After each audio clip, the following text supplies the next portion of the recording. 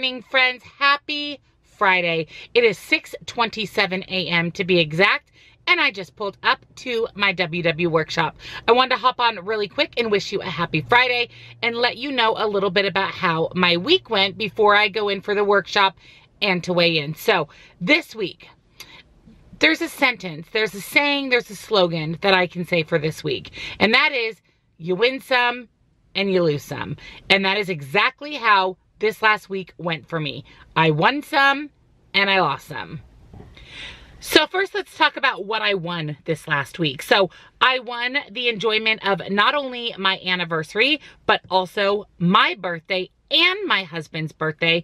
And I also won at the gym. I went to Jazzercise four days this last week worked my hiney off. It felt amazing. I actually went yesterday. I'm going again today. It has been such a great thing. Like I say every week, I'm loving it. It is something that I really enjoy and that's great because that means that it's something that I'm going to be able to stick with, which is always important in an exercise routine.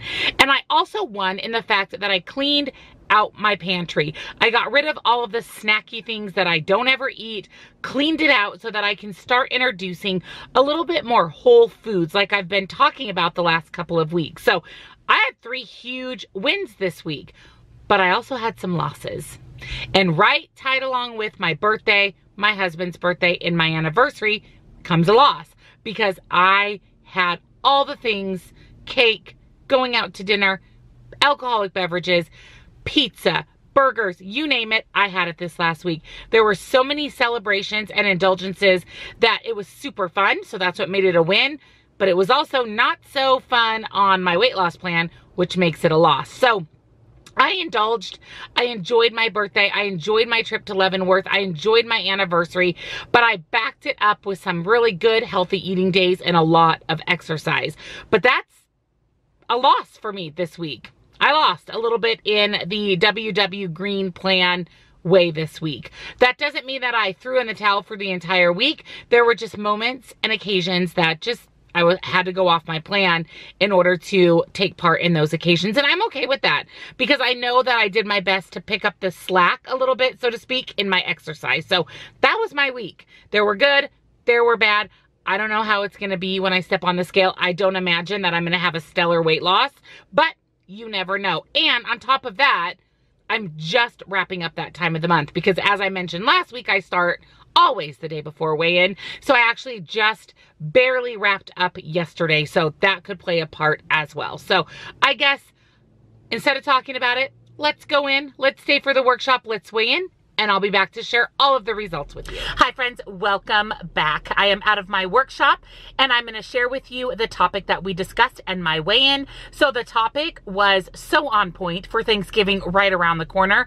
Today, we discussed portion control. And before I get into the four tips that WW shared with us for portion control, I want to share a couple of my personal tips or things that enter my mind when I am thinking about portion control.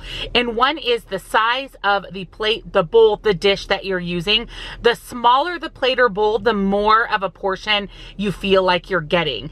And it's harder to overeat on a smaller plate unless you're building a huge tower of food. It's a little more challenging because you don't have as much surface area to put your food. So one tip is choose a smaller plate when you're watching your portion control. And the other thing that WW or the old Weight Watchers, I remember this from years and years ago, and I actually think about this quite regularly, and that is on your plate at any event or anytime you're eating a meal, think island, not continent. So instead of putting a big, huge pile of mashed potatoes on your plate, put a smaller pile of mashed potatoes on your plate. So in your mind, build islands on your plate, not continents, and that really, really helps with portion control. So the first thing is, is Find the right portion for you. What is it that you want to eat? Are you going to really watch what you're eating? Make sure that you load yourself up with a little bit more vegetables than the starchy item.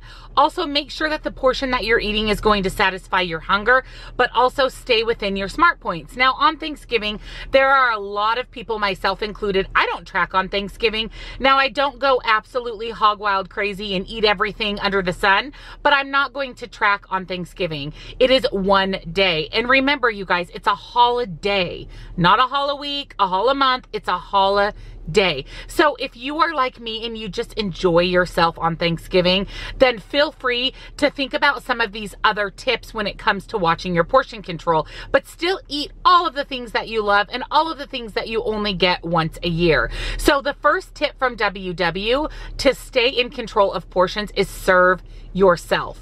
A lot of times when we're with our family on Thanksgiving, our mom or our grandma are serving up our plates for us. Just volunteer to serve yourself. That way you have control over the portions that you're putting on your plate. You can really load yourself up on the lower point options and just have a taste or two of those higher point options.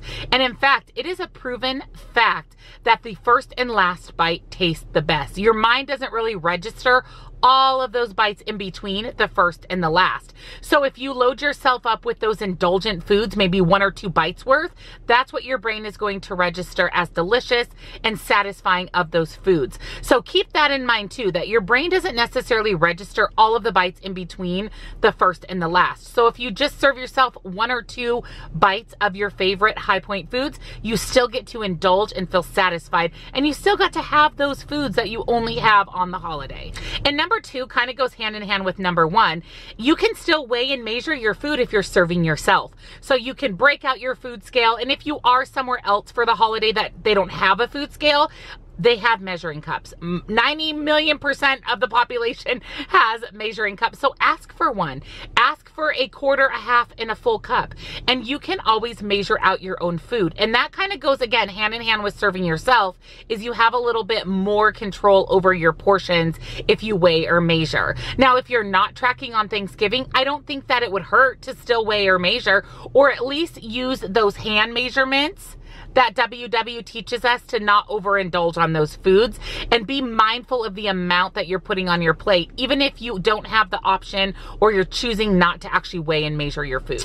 The number three tip is track your food. That's a given. Everyone who follows WW knows how important tracking your food is. Now, do I think that it's absolutely necessary to track on Thanksgiving. Not if that's not what you want to do. I personally, again, will not be tracking on Thanksgiving. I will be being mindful, but I will not be tracking. But every other day this week, the other six days of the week, I will absolutely be tracking my food. So it is important in order to be successful on any plan, you have to have a calorie deficit. And to ensure that the foods that you're eating are going to put you in a calorie deficit, that's where tracking your food comes in. And it ties right back to weighing and measuring, and it ties right back to serving yourself because restaurant portions are huge. But if we're serving ourselves, we know exactly what we're putting on our plate, thus putting in our mouth. And the fourth tip is decide what works. What works within your Smart Points budget. Maybe load yourself up a little bit more on some of those zero point foods. Build your meal around those. Put a little extra veggies on your plate, a little extra fruit, a little extra zero point protein, and build the rest of your meal around those items. A little bit of potatoes, a little bit of stuffing, a little bit of dessert. And that way you are indulging still, but you're staying within a relative number of Smart Points that's going to still put you at the end of the week in a position where you're going to see some results on the scale. So those are the top tips from WW as far as portion control. And remember you guys, it's a holiday. So if you want to enjoy yourself on Thanksgiving, I you have weeklies. You have dailies and weeklies and you certainly can't go too far over that number by enjoying yourself on that one day and indulging in those foods that only come around one day a year. I know for me, my mom's sweet potato casserole is amazing and it is not WW friendly. It has all the things. It has heavy cream and butter and sugar, but it is so good and my mom only makes it on Thanksgiving. So you can bet your bottom dollar that I'm going to be having some of my mom's sweet potato casserole on Thanksgiving. Now, am I going to have it the day after Thanksgiving? Absolutely not. I am going to enjoy it on Thanksgiving and I'm going to enjoy that time with my family while still being mindful of my portions. So now let's jump right into weigh-in. So like I mentioned, there's some good, there's some bad, there's some wins, there's some losses this week, but I did have a little bit of a rough week when it came to my food choices. Again, because of my birthday, hubby's birthday, anniversary. When I stepped on the scale today, I was up one pound. Now, do I want to gain a pound? Absolutely not. But am I okay with that pound? Yes. And let me tell you why. Because you guys, I enjoyed my birthday. I enjoyed my husband's birthday, our anniversary. I enjoyed our trip to Leavenworth, but I still backed it up with going to Jazzercise. So I still feel like considering everything, I had a good week overall with exercise. Now, could my food have been better? Absolutely. But I'm okay with it because my birthday, his birthday, our anniversary comes once a year. So I indulged on those days because it comes once a year. Very similar to the Thanksgiving holiday. It's once a year. So I am back on track. My goal for this next week is to track and stay on track every day with the exception of Thanksgiving. Now, Saturday, as you know, is the day I use my weekly. So unfortunately, I will not be doing that tomorrow because I need to save those weeklies for Thanksgiving so that I can enjoy myself on that day. So that is my goal this next week is to track honestly all week, stay within my points on the green plan and indulge on Thanksgiving and on Thanksgiving only. So that is my plan for the week.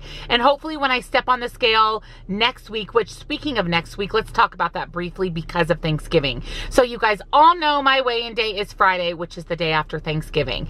So I know myself and I'm not going to want to step on the scale on Friday. Let's be completely honest, after indulging on Thanksgiving, that is not where I'm going to want to be on Friday. So my plan is, is to attend the Wednesday workshop. Now, of course, I don't have an entire week under my belt for results when I go weigh in on Wednesday. But my goal is to weigh in on the Wednesday workshop and I will upload on Friday as usual because the topic won't change between Wednesday and Friday. And I'm still going to go to my workshop on Friday. I'm just not going to weigh in. I'm actually going to weigh in on Wednesday. So chances are I won't stay for the workshop. I'll just weigh in and head out the door because that way I can stay and really hear about the topic on Friday for you guys. But Video will be up Friday as usual. It will just have Wednesday's weigh-in results part of that video because I'm going to enjoy my Thanksgiving. I'm going to watch my portions, but I'm going to enjoy my Thanksgiving. So I want to hear how was your guys' this week? Was it what you expected? And what is your game plan for Thanksgiving and portion control? So definitely leave that in the comments below. I'm excited for Thanksgiving. I'm happy to spend it with my family. I'm actually working out at Jazzercise when or Thursday morning before Thanksgiving They call it the huff and puff before you stuff, which I love. So it's a workout at 8, 10 in the morning on Thanksgiving and I'll be there. And that's going to set me up for a little more success for the Thanksgiving holiday. So if you're new to my channel, welcome. I'd love it if you would take a moment and join my community here on YouTube. It's a fabulous place to be. You may also want to check out my Facebook group. I'll put it right here for you. We have about 11,000 members and we share a lot on that Facebook group. There's great ideas, inspiration, motivation, support support. It's a great place to be. So we'd love it if you would join us over there as well. So hit that subscribe button and that bell so you're notified whenever I upload thumbs up this video if you like these weekly weigh-ins and leave your comments down below. And all in all, you guys, it's a holiday. Enjoy yourself. Enjoy your time with your family. I, I am so incredibly thankful for each and every one of you. You have no idea what you guys mean to me. Seriously, the world. You guys mean the world to me. So from the bottom of my heart and with a lot of love behind it, happy Thanksgiving. And I'll see you guys all in my next video. Bye, guys.